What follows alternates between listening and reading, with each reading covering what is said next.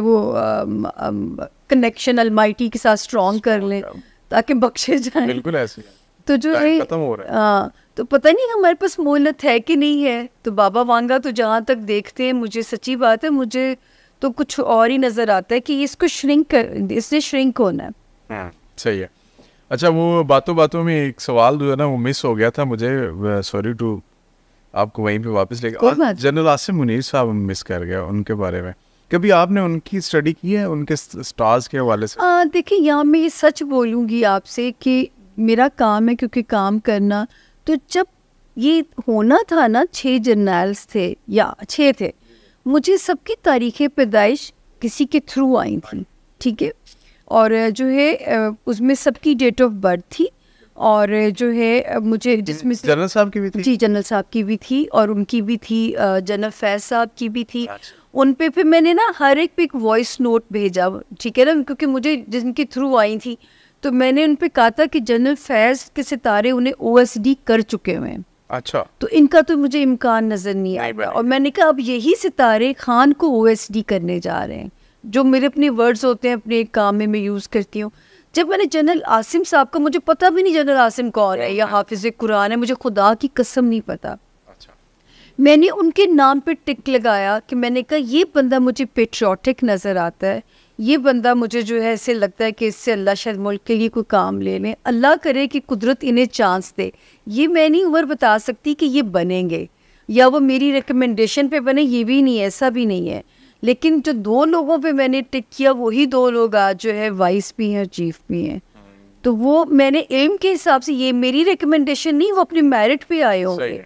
लेकिन मुझे आज भी याद है कि जैसे मुझे होमवर्क दिया जाता है, इन पर्सनालिटीज़ के बारे में बोलिए, इनके बारे में बोलिए तो मैं कहती हूँ मुझे डेट ऑफ़ बर्थ दें। जैसे बाबर आज़म का था तो मैं तारीख़ पैदाइश मंगवाई। मैं कहनी जी, ये तो कम बैक कर रहे हैं, बड़े सॉलिड तरीके से कम बैक कर रहे हैं। तो आप बिल्कुल मायूस ना हो कि इनको आउट कर दिया गया, ऐसा अच्छा अभी करंट सिनेरियो में पाकिस्तान की बेहतरी के हवाले से उनका किरदार किस तरह आप देख रही हैं? देखिए जो मुझे उस वक्त उनके सितारे याद है जब जुपिटर नाइन्थ हाउस में लेके इंसान पैदा होता है ना तो होता वो अच्छी सोल है पेट्रोटिक होता है। अब अल्लाह ताला उनके लिए आसानियाँ करे कि शायद उनके थ्रू कुछ हम इस मुल्क ने तो बदलना है। अब इसका सेहरा किसके सर लगता है यही गैब का इल्म है जो मुझे नहीं पता। अच्छा ठीक है। हाँ। ये जो सोलर एक्लिप्स है और लूनर एक्लिप्स। है अ, ये जो इस दफ़ा 2024 में और बड़े 23 में खतरनाक बड़े खतरनाक। और वो भी बड़ी तादाद में है। इतने पहले हमने कभी नहीं देखे नहीं तो साल में कभी एक दफ़ा होता था ऐसा। नहीं नहीं आज चार पाँच बारी आते हैं इस बारी आगे पीछे भी आ रहे और बड़ी मतलब एक ना कैलकुलेटेड टाइम के साथ आ रहे हैं। जी। तो पाकिस्तान की पॉलिटिकल लैंडस्केप में कौन कौन से पॉलिटिशियंस जो है वो इस दफ़ा जद में आ जद में आ रहे हैं? एक्चुअली उमर यहाँ पे ये है कि ये इनकी अहमियत मैं पहली एस्ट्रोलॉजर थी जिसने इनकी अहमियत को टीवी पे कहना शुरू किया था। क्योंकि जब हमारे prophet peace be upon him कहते हैं कि इनकी ड्यूरेशन में दो नवाफिल अदा करें ताकि नमाज़ कसूफ और खसूफ बोला जाता है। कसूफ सूरज ग्रहण के लिए खसूफ चाँद ग्रहण के लिए। तो जब उन्होंने हमें कह दिया तो हमारे लिए तो पीछे कोई बात ही ख़त्म हो जाती है। लेकिन ये जो दोनों ग्रहण लगे हैं ये हमें नहीं इफ़ेक्ट करे हमें खुश नहीं होना चाहिए। अच्छा। ये कर रहे हैं America Brazil Mexico Canada Europe की कादी पट्टी। तो ये जहाँ नज़र आ रहे हैं मैं- अमेरिका का फॉल भी सितारों में प्रिडिक्ट कर चुकी हुई हूँ। बिल्कुल आपने किया। जी अब बाइडन के इलेक्शन जीतने की तो प्रोडिक्शन की थी मैंने अब उनके फिर सोना इलेक्शन होने वाला अभी मुझे उस पर होमवर्क नहीं है मेरा। लेकिन अमेरिका का फॉल ज़रूर मैंने प्रिडिक्ट किया है कि अमेरिका में तोड़ फोड़ होनी है और अमेरिका ने अंदरूनी खलफ शार का शिकार भी होना है। तो ये उन पट्टियों पे नज़र आया है और ये जो अभी जो दूसरा वाला नज़र आया ये तो बड़ा ख़तरनाक था। तो ये वैसा ही था जैसा जब हमारे यहाँ लगा था 11 अगस्त 1999 कराची में बिल्कुल अंधेरा छा गया था और वो मेरी पहली सियासी पेश गोई थी कि ये हुकूमत को उड़ा देगा और इसकी नहूसत के असरात डेढ़ साल रहेंगे ज़मीन पे। और आप सोचिए डेढ़ साल क्या? ग्यारह साल आपने माशाल्लाह भुगता था। और मैंने खुद वो नज़ारा कराची में देखा। हमें जहाज़ से उतार दिया गया। ऊपर मुशरफ साहब का जहाज़ चक्कर लगा रहा था और शाम को उनकी तकरीर आ जाती है मेरे अज़ीज़ हम वतनों। तो जी।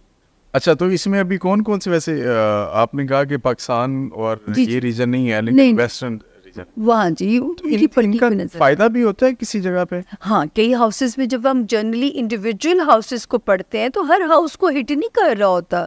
कईयों को सेहत याब कर रहा होता है कईयों के दुश्मन उस पर रिवील कर रहा होता है तो कई जगह पे फ़ायदा भी देता है। तो जब पाकिस्तान की पट्टी पे नज़र आता है तो फिर मैं एक प्रॉपर होमवर्क देती हूँ उसके ऊपर जो है। बिल्कुल ठीक है। अच्छा ये आ, मैंने देखा है कि लोग अक्सर कहते हैं कि जी ये वाला पत्थर लेके पहन लें। तो आपका ये मसला ठीक हो जाएगा। वैसे तो सुन्नत भी है अंगूठी पहनना और एक रिवायत भी है उसमें पत्थर के हवाले से। लेकिन क्या ये स्टोन्स और ये जो नंबर्स होते हैं इनके तहत आप किसी का नसीब बदल सकते हैं? किसी की फेट चेंज हो सकती है? बिल्कुल नहीं बदला जा सकता। ये तो शिर के ज़ुमरे में बात चली जाती है। ये देखें सूरत रहमान में जब अल्लाह पाक अपनी नेमतें गिनवाते हैं फरमान आता है कि और हमने तुम्हारे लिए याकूत और मरजान पैदा किए और तुम मेरी किस किस नेमत को जुटलाओगे? तो नियमतों में उनका तस्करा करते हैं। तो जैसे हकीम जड़ी बूटियों से इलाज करते हैं जो है वो आप इसी तरह जो मेरा तरीका है, मैंने स्पेशल मैं बहुत ज़ोर देती हूँ स्टोन पहनने पे। जब मैं आजकल तो यकीन करें साइकिलो ये भी मेरी पेश गोई थी कि दिमागी अमराज बढ़ जाएँगे। ये जो है और उसमें ये इससे बेहतर इलाज कोई नहीं होता। मेरे अपने हाथ में पागल होने की लाइन है और वो जो लाइन ऐसी है कि मेरी ज़िंदगी ऐसी थी कि मैं पागल हो सकती थी जितनी मैंने दुख देखे अपनी मुश्किल अच्छा। देखी। तो कोई मेरे इंटरव्यू में कहते ना आप यहाँ तक कैसे पहुँची? तो मैं कहती हूँ मेरे फेलियर्स ने मुझे यहाँ तक पहुँचाया है। तो ये ये मुझे मेरी दवाई है। ये मुझे मेरे अंदर कामनेस रखते हैं। लाख दुख आ जाए पैनिक आ जाए मुसीबत आ जाए ये मेरे दिमाग को पैनिक नहीं करने देते। जब दिमाग पैनिक नहीं होता तो बर वक्त सही फैसले लेने के काबिल रहता है। तो ये सिर्फ़ दिमाग को डील करते हैं। मतलब ये और इनकी साइंस भी है कि सीधे हाथ में पहनाया जाता है या कि ये सोलर एनर्जी लेते हैं और थ्रू राइट हैंड आपकी ब्रेन की वेव्स को पहुंचाते हैं। तो आपका ब्रेन पैनिक में नहीं जाता। तो इनकी सिर्फ़ ये साइंस है। तो मैं तो सर इसकी अहमियत से इनकार नहीं कर सकती नसीब नहीं बदलता। ठीक है। आपके दिमाग की रिपेयर में आपके साथ एक मुआविन का रोल अदा करता है। तो ये गलत पहन लेने से उसका इफ़ेक्ट भी होता है? बिल्कुल। अब बहुत ये तजर्बे खुद नहीं करने चाहिए। जैसे डॉक्टर की सेल्फ मेडिकेशन से मना करते हैं तो ये भी मैं कहती हूँ कि अब देखिए मेरा लियो हूँ मैं। मैं के साथ एक सवाल भी ऐड कर हाँ। आजकल तो ये होता है कि मैं बल्कि इवन खुद ये करता हूँ सारे यही करते हैं। कोई भी मसला है गूगल पे जाएँ जी सर्च करें। और अब किसी ने पत्थर देखने होते हैं वो अपनी डेट ऑफ़ बर्थ डालता है और उसमें लिखा होता है कि जी ये दो ये यही मैं कहने लगी थी कि मैं लियो हूँ और मेरे पे एक ही स्टोन आपको वहाँ लिखा हुआ नज़र आएगा रूबी लेकिन जब मैंने रूबी पहनने की कोशिश की ना तो वो ऐसे जैसे अंदर एक लावा सा निकालता था। फिर मुझे पता चला कि फिर ये मैंने खुद की रिसर्च है मेरी। फिर मैं अपने एमरल्ड क्योंकि देखिए जब हम जायचा इंडिविजुअल पढ़ते हैं तो मैं पढ़ती हूँ, मैं कहती हूँ कि ज़िंदगी में एक बार भी काफ़ी है अपने जायचे को जान लेना।